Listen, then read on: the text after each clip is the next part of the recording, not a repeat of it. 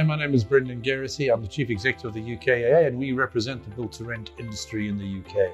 And tonight we're at Shoosmiths who are uh, lawyers and very strong um, supporters of the build to rent um, industry for allowing us to use their terrific facilities and, um, and, and there's a great party going on downstairs.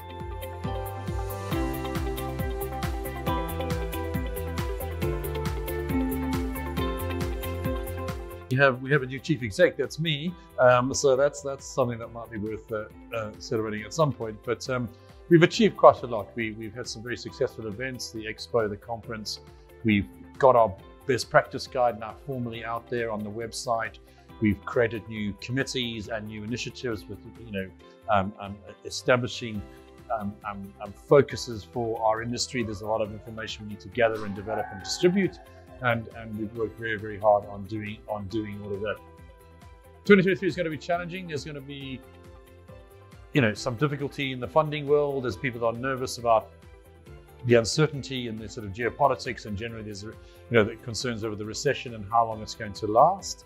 The good news is, is that build to rent has proven itself to be resilient. As whilst there will probably be a pause, perhaps, on, on some investment decisions, we we expect that by the mid-year we will start to see, uh, we hope to see a return to confidence and certainly the appetite for build to rent in the UK remains huge. The appetite for money to be deployed into the into into the industry into the sector remains huge.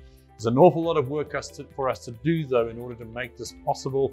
Most of all, we have to start selling the social value of build to rent, the socio-economic benefits of having a build to rent building, build to rent community in your community, what it does for the local economy, what it does for local um, employment, what it does for community. Of course, you know, at the end of the day, this is, is all about people. You know, we are building homes for people to live in, and, and, and we mustn't forget that, you know, in the build to rent sector, the customer is the source of revenue and they need to be looked after and they need to be nurtured and they need to be encouraged to have a good life themselves.